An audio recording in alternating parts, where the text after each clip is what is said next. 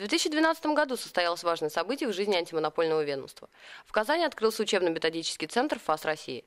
Центр создан для повышения квалификации и профессиональной переподготовки специалистов в сфере антимонопольного регулирования и в сфере госзаказа. Учебно-методический центр – это наше первое подведомственное учреждение, которое появилось в ФАС России за эти годы.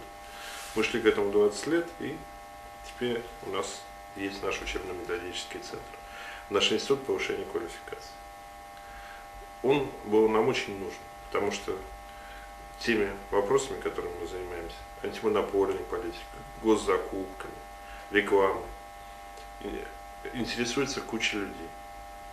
Бизнес, государственная власть. Нам самим надо было вырабатывать единую практику нашей работы, чтобы во всех 83 наших терах принимались одинаковые решения по всей стране.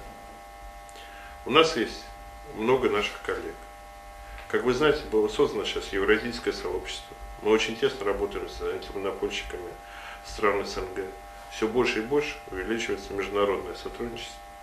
И нам нужно проводить совместные семинары, совещания.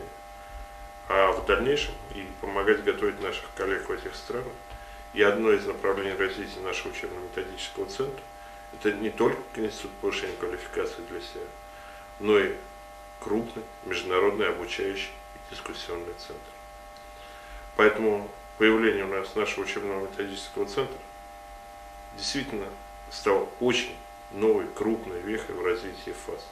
То есть мы очень хорошо поработали, но мы пока немножко варились в собственном соку. А теперь с появлением учебно-методического центра мы уже выходим на широкую площадку. И не только российскую, но и СНГ, и думаю, что Европа.